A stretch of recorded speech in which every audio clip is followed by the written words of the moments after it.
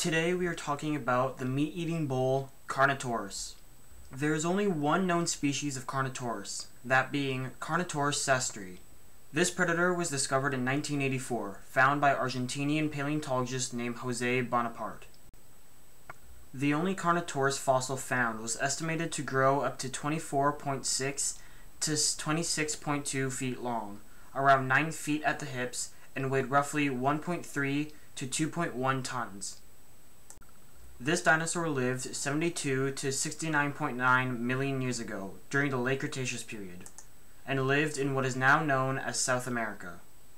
Carnotaurus is part of the Abelisaurid family, with Carnotaurus being the best understood genre of the group. Members of the family include Majungasaurus, Skorpiovenator, Rajasaurus, and others. Abelisaurids are very well known for their forelimbs being incredibly short. Most and if not all abelisaurids were carnivorous, meaning they ate meat. Carnotaurus is very recognizable by the two horns on the frontal bone, as well as being currently the only known bipedal carnivore with this trait.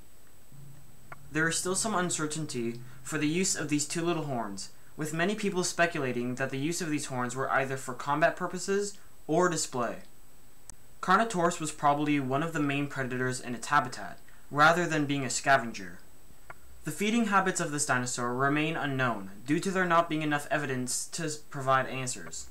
Some studies say that Carnotaurus would be able to hunt big animals, like sauropods. On the other hand, however, studies say that this dinosaur preyed on smaller and weaker animals.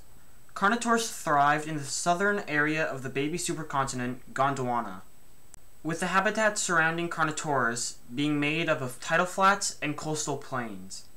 Many types of species of dinosaurs lived in Gondwana, like abelisaurids, spinosaurids, stegosaurids, and more. In fact, abelisaurids are mainly restricted to Gondwana. Carnotaurus could have potentially hunted or roamed in groups. This would help the animals take down larger prey or hold territory from other predators. Unfortunately, not much is known about Carnotaurus' lifestyle, so until we uncover more fossilized remains, we must continue to speculate. Okay, um, that is today's video. I understand that I've been falling behind a bit on making my videos and all that. It's been three or four weeks. But that is because of school and of me helping my dad do his YouTube channel uh, and videos and all of that. Um, so yeah, I apologize for not uploading consistently.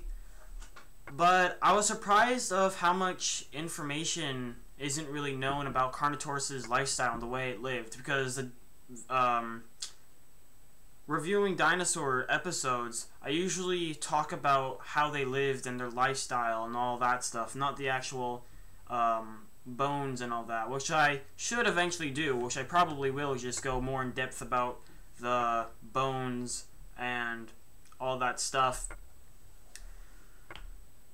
But, yeah, uh, that was today's video, which was very, very past due.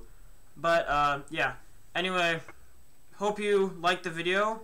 If you did, make sure to like the video as well as subscribing to the channel so we can push more of this dinosaur knowledge. Well, not push. I don't like the word push. Just spread the knowledge so everybody can learn about these fascinating creatures. Um, and yeah, make sure to turn on the notification bell so you do not miss out on any of my reviewing dinosaur episodes or on my content in general. I will be posting, do not worry, I will be posting more frequently, at least try to. But, yes, I'm alive, so... Thank you for watching. Hope to see you in the next video. And have an amazing rest of your day.